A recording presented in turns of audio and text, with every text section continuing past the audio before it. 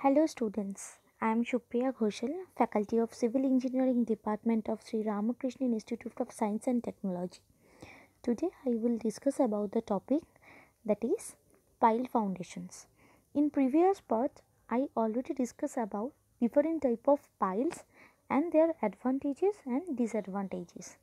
In this part I will discuss about the next type of pile that is sheet pile. Sheet piles are never used to provide vertical support but mostly it is used to act as a retaining wall. They are used for the following purpose like construct retaining wall in dock and other marine works, to protect the erosion of river bank, to retain the sides of foundation trenches, to protect the foundation of structure from erosion by river or sea. Next is underreamed pile. These piles are developed by CBRI Roorkee in UP to serving the foundation for black cotton soil, field of ground and other type of soils having poor bearing capacity. The underreamed is a in situ concrete pile having one or more bulbs or underreams in its lower portion. The bulbs or underreams are formed by underreaming tool. The diameter of underream pile varies from 20 to 50 centimeter of that of bulb varies from 2 to 3 times of diameter of pile. Next is in this slide I have discussed about the load carrying capacity of pile. The bearing capacity of individual pile may be determined by two type of formula. Number 1 dynamic formula, number 2 static formula and different type of test. Number 3 pile load test, number 4 penetration test. First one is dynamic formula. Engineering formula Q equal to WH by F into S plus C. Q means safe load in kg. W equal to weight in hammer in kg. H equal to height of fall in hammer in centimeter.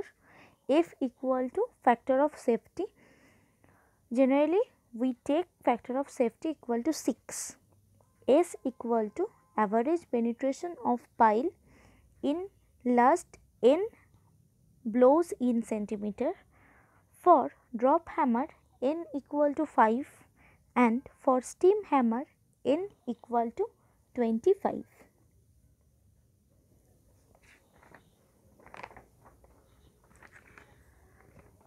Next, there is some empirical constant.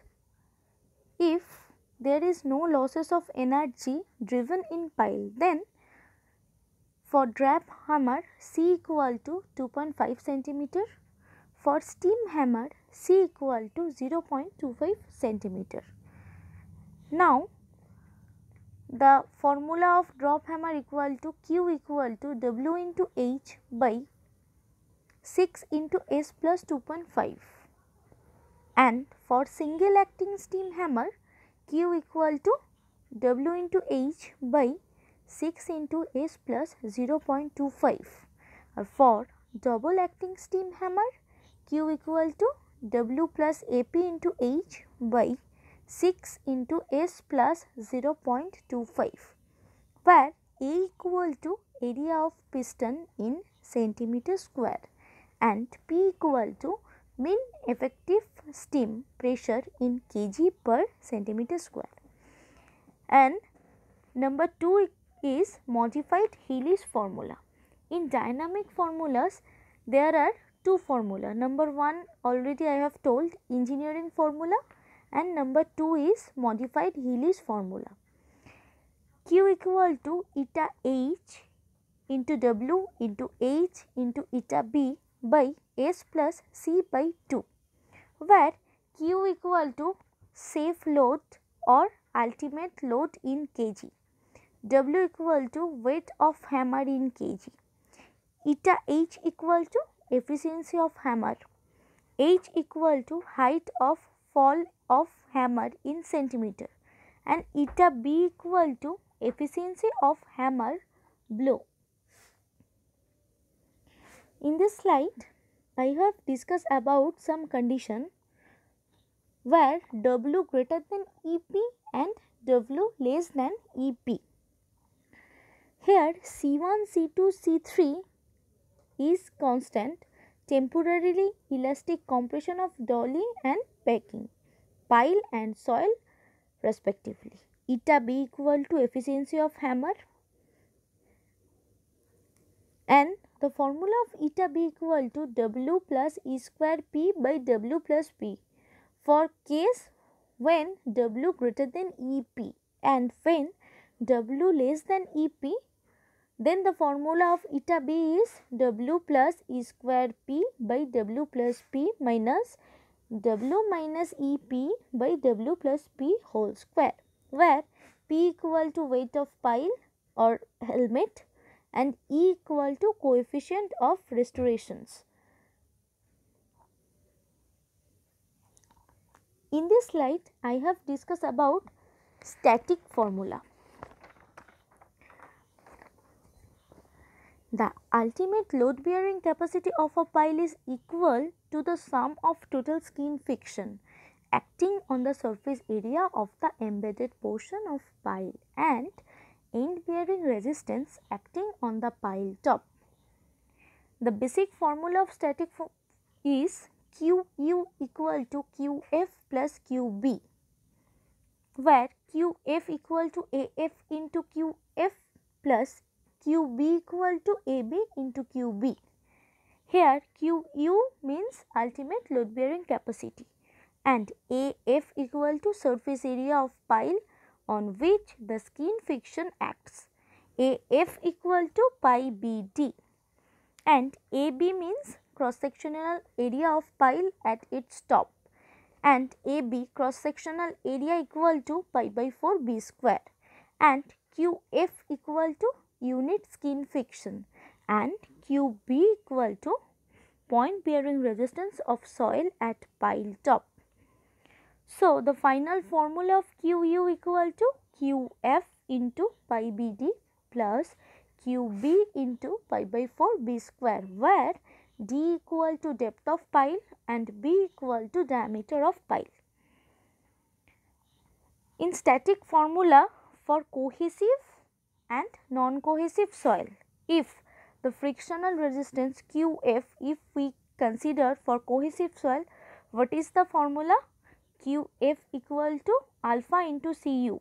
Here Cu means cohesion and alpha means adhesion factor. From different type of material, the cohesion and adhesion factor is different.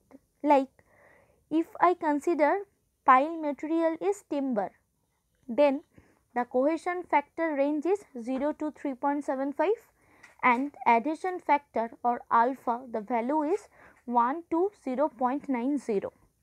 For concrete, the value is 3.75 to 7.5 or 7.5 to 15 and the value of alpha is 0.9 to 0.6 or 0.6 to 0.45 and the last material if I consider steel then the value of cohesion and adhesion factor is 0.375 to 0.75 or 3.75 to 7.5 or 7.5 to 50.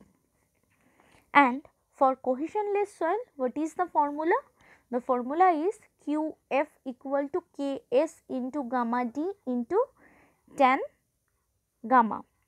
Ks means coefficient of lateral earth pressure, gamma means unit weight of soil, D means depth of pile and tan gamma means friction angle between pile and soil which depends on angle of internal friction or phi.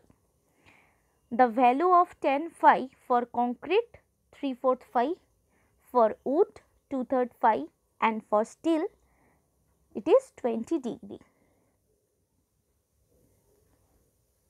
In this slide I have discussed about group action of pile. When several closely spaced pile are grouped together, it is responsible to expect the soil pressure developed in the soil to resistance will overlap. The bearing capacity of pile group may or may not be equal to sum of the bearing capacity of individual pile consisting the group.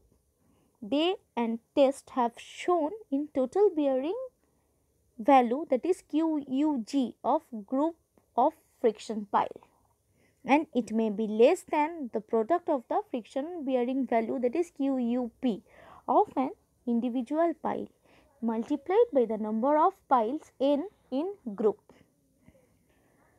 There is no reduction due to group actions where end bearing pile for combined end bearing and frictional pile only the load carrying capacity of frictional portion is reduced.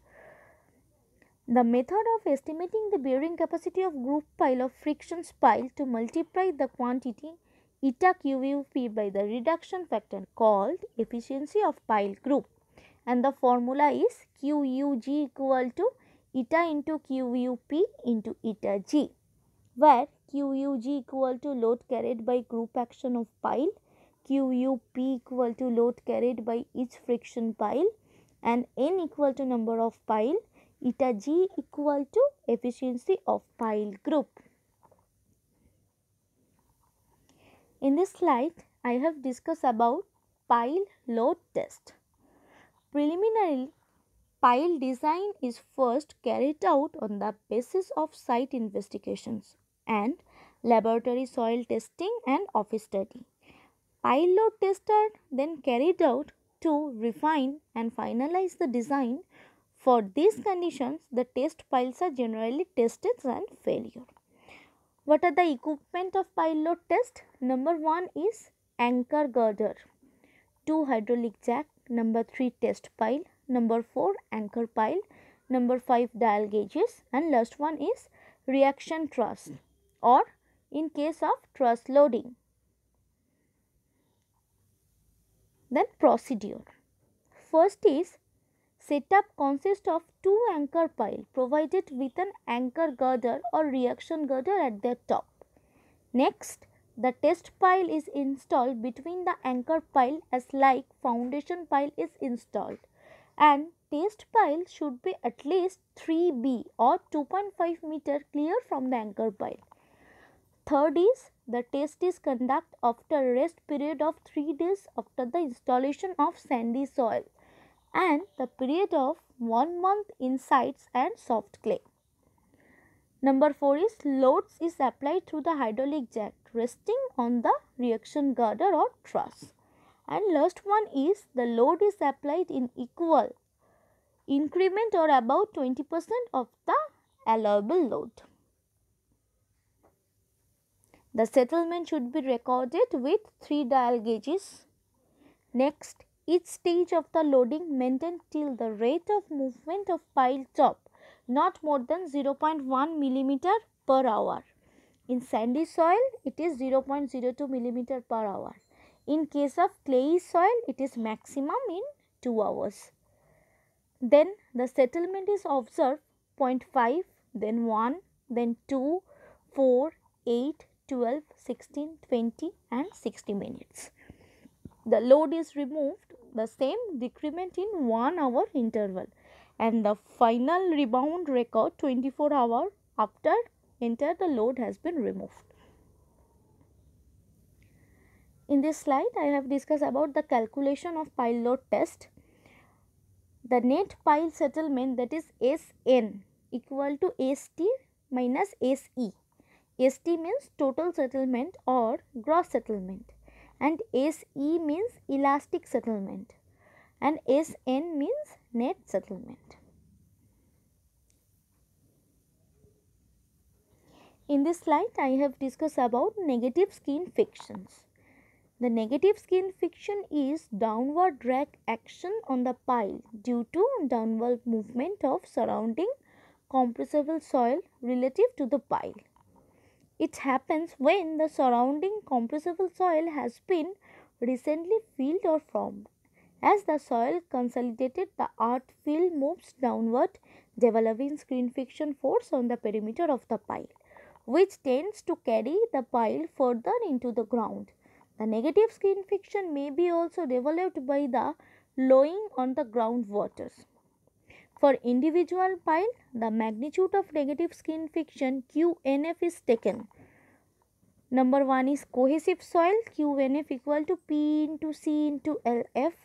For granular soil QNF equal to half into LF square P into gamma into K into F where P equal to perimeter of the pile, LF equal to depth of fill or soil which is moving vertically, C equal to cohesion of soil. K equal to earth pressure coefficient, gamma equal to unit weight of soil. And F equal to coefficient of friction.